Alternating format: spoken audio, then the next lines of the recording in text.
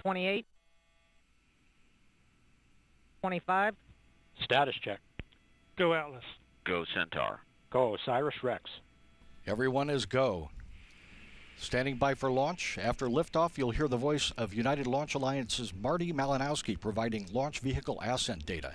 10 seconds.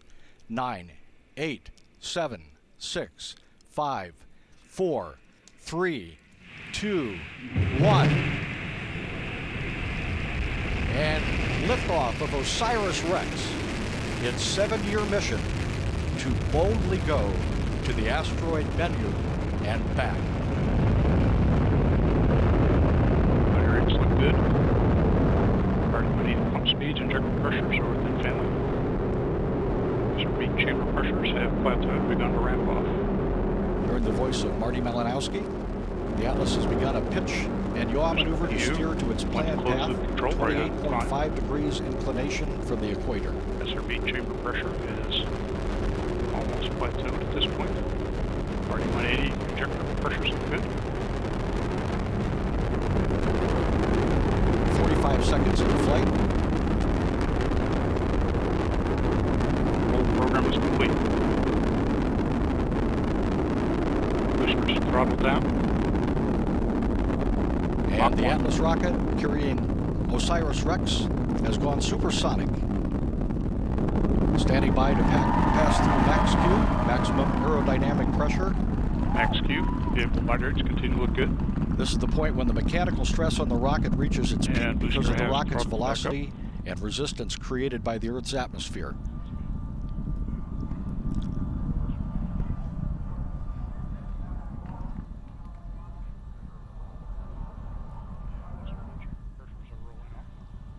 Signatures look good. Current altitude is 14 miles. Downrange distance is 9 miles. Current velocity 2,488 miles per hour. Range track shows vehicle progressing down the middle of the range.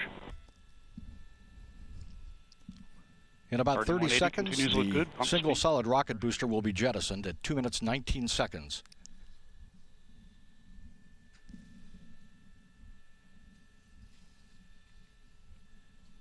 And booster has throttled back down. It's now 50% of its liftoff weight. Next major event will be SRB jettison, coming up momentarily. we And you see the solid rocket booster jettison. solid. Separation looks good. Vehicle has enabled closed loop Q alpha steering. RD-180 engine continues powering the Atlas, Centaur, and Osiris Rex into space. Next major milestone will be booster engine cutoff. Four minutes and two seconds into flight. Has been fired. That system is now pressurizing to flight level. Signatures look good. Current altitude 40 miles, downrange distance 75 miles, current velocity 5,988 miles per hour. Range track looks good.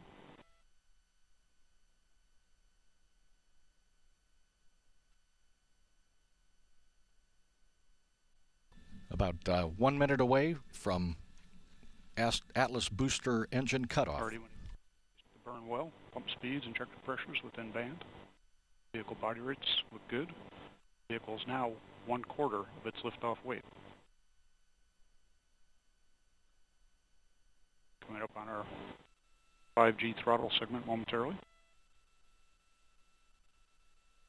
And we have begun throttling to maintain 5Gs. Signatures look good.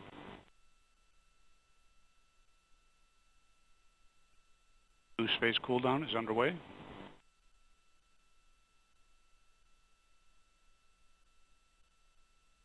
And begun to throttle to 4.6 Gs in preparation for BECO. Boost phase cooldown is complete.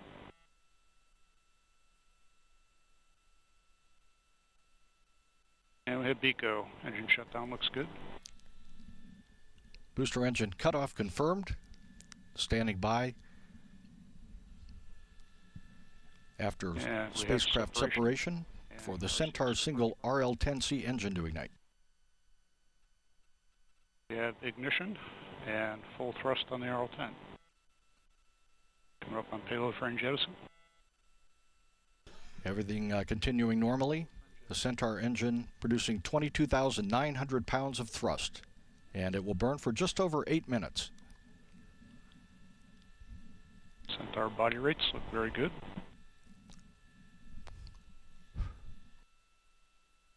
Steering has been enabled.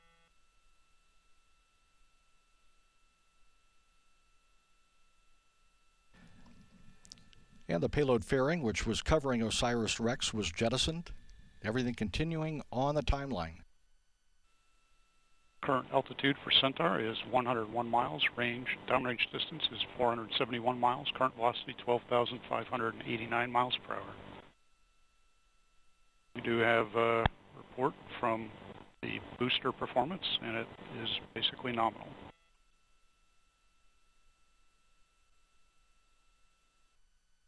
Centaur PU is currently on the bridge stop. Chamber pressures look good. LOX pump discharge, fuel venturi, and pump speeds all are good.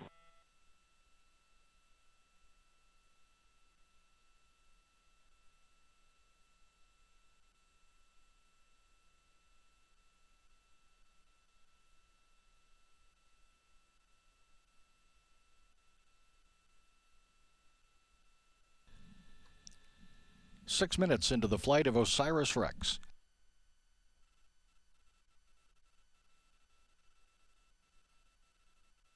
RL-10 continues to perform well.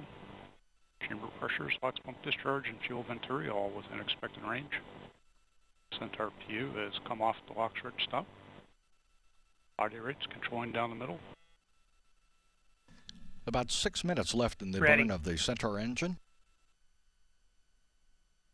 Voltages all are stable at this point. Tank pressures look good.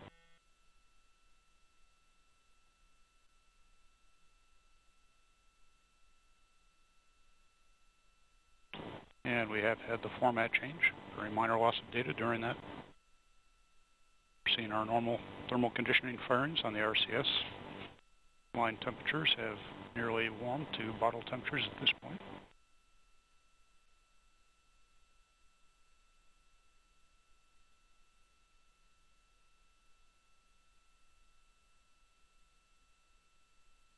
Once again, you're hearing the voice of United range. Launch Alliance Marty Malinowski calling the ascent of the vehicle. Still making good progress down the middle of the range.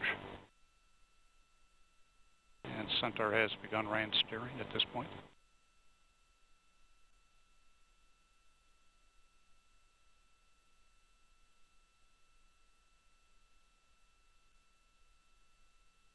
Current altitude 139 miles, downrange distance 1,008 miles, current velocity 13,783 miles per hour.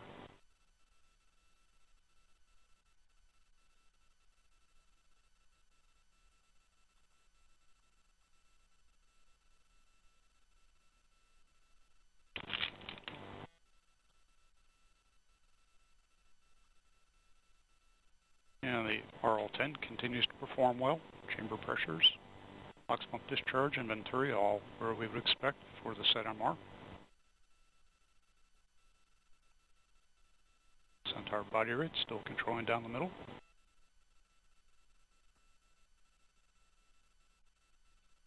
About four minutes remaining in the burn of the Centaur engine.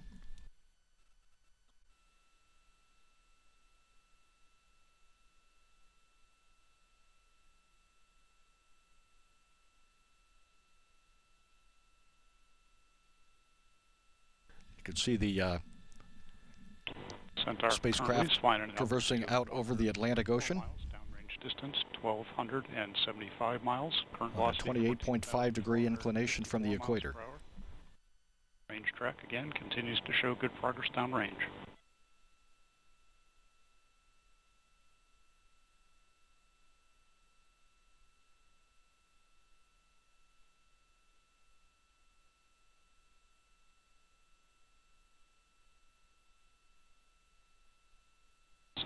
Centaur has worked off most of the oxidizer air at this point, controlling near nominal. Chamber pressures, LOX pump discharge, and fuel venturi, again, all as expected for the ZMR. Body rates are good.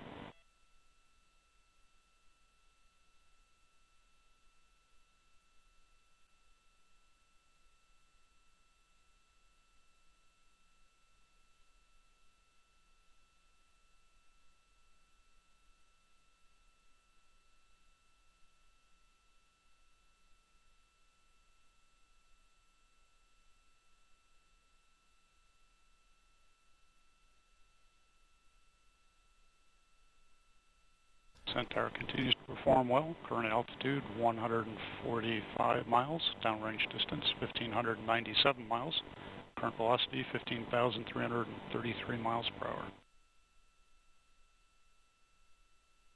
Just a little over 10 minutes since launch, and everything continues to go well.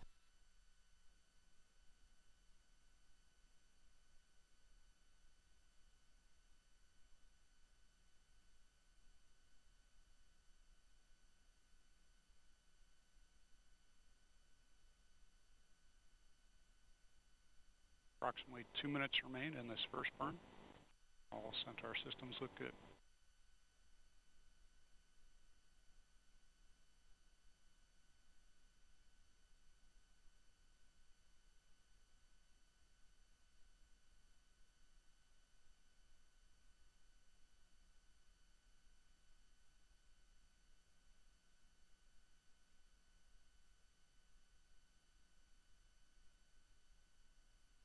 Centaur PU again controlling near nominal. RL10 performance continues to look excellent. Body rates controlling down the middle.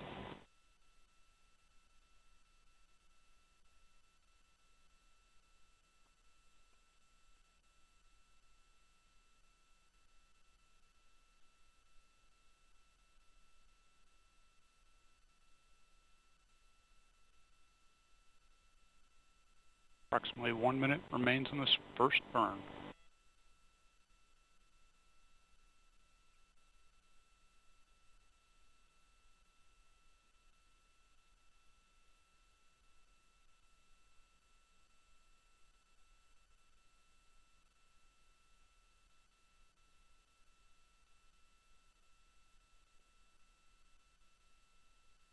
Standing by for the second stage Centaur Centaur engine cutoff.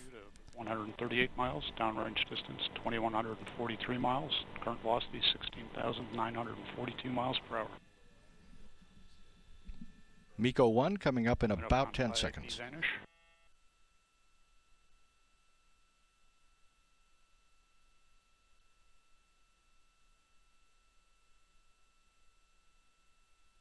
And we have IAP vanish. Centaur is now orbital.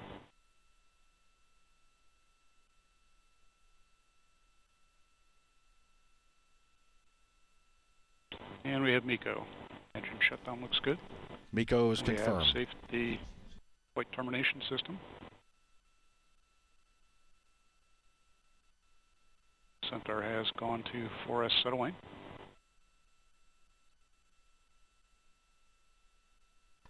Another Centaur burn will follow after about a 22 and a half minute coast period. That burn is scheduled for 33 minutes, 48 seconds mission elapsed time, or about 7:38 p.m. Eastern Time.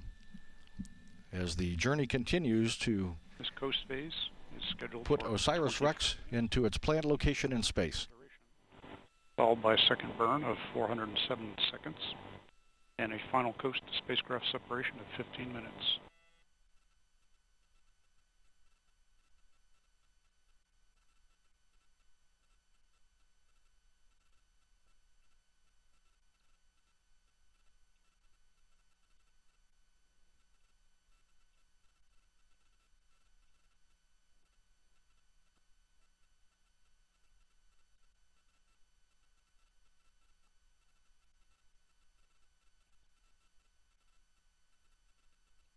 Centaur tank pressures, storage bottles, batteries are all stable.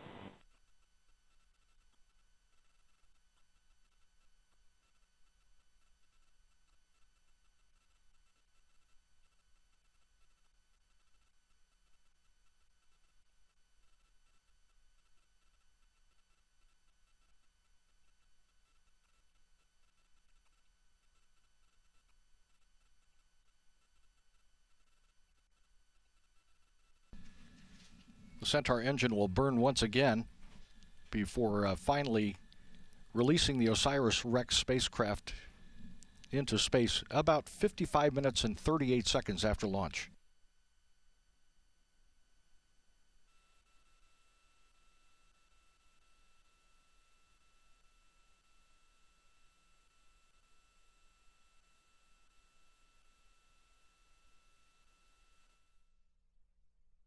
And if you guys are just joining us, NASA launched on a seven year round trip journey to an asteroid. And their mission is to scoop up pieces of this space rock and bring it back to Earth.